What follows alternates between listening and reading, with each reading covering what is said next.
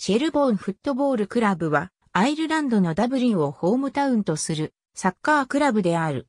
1885年、シェルボーン FC は、ダブリン県のリングセンド、サンディマウント地区で、ジェームズ・ローワンが率いる男性グループによって誕生した。クラブ名は、近くのシェルボーンロードとシェルボーンハウスホステルに由来している。クラブの最初のスタジアムは、ランズダウンロード北側の高台裏のハブロックスクエアにあった。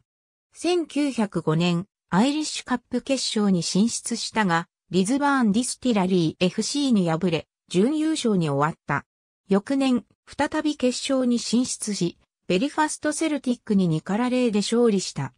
シェルボーンはアイリッシュカップで優勝した最初の南部クラブとなった。1926年、1925から26シーズンのリーグオブアイルランドでシャムロックローバーズを勝ち点差2で抑えて初優勝を果たした。1939年、 FAI カップ決勝でスライゴローバーズに再試合1から0で勝利し、初優勝を果たした。1960年代初頭、ジェリー・ドイル監督によって、アイルランドで最も魅力的で興奮させるチームの一つになり、リーグ優勝1回、 FAI カップ優勝2回を記録した。また、欧州の舞台では、トップクラブのスポルティング CP、バルセロナ、アトレティコ・マドリードなどと対戦した。当時のチームには、トニー・ダンやフレディ・ストレーファン、クリスティ・ドイル、エリック・バーバー、ジャッキー・ヘネシー、トミー・キャロルなどのアイルランド代表選手が所属していた。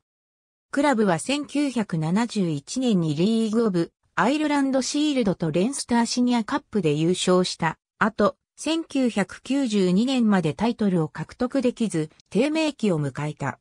1992年、1962年以来30年ぶりとなるリーグ優勝を果たした。翌年には、 FAI カップでも1963年以来となる30年ぶりの優勝を果たした。2000年、1998から99シーズン開幕前に就任したダーモット・キーリー監督の下でプレミアディビジョンと FAI カップの2冠を達成した。2006年、クラブは通算13回目の優勝を果たしたが、深刻な財政問題によりリーグから撤退し、多くの選手を失った。最終的にダーモット・キーリー監督の下でファーストディビジョンのライセンスを取得した。2008年、首位で迎えた最終節でリムリックと引き分けたことにより、弾道区に逆転を許し、プレミアディビジョン昇格を逃した。2009年は昇格プレーオフ準決勝で、スポーティングフィンガルに敗れた。2011年、ファーストディビジョンで2位になり、プレミアディビジョン復帰を決めた。同年、 FAI カップ準決勝でセントパトリックスアスレティックに勝利し、決勝に進出したが、スライゴローバーズに敗れて準優勝に終わった。出典。ありがとうございます。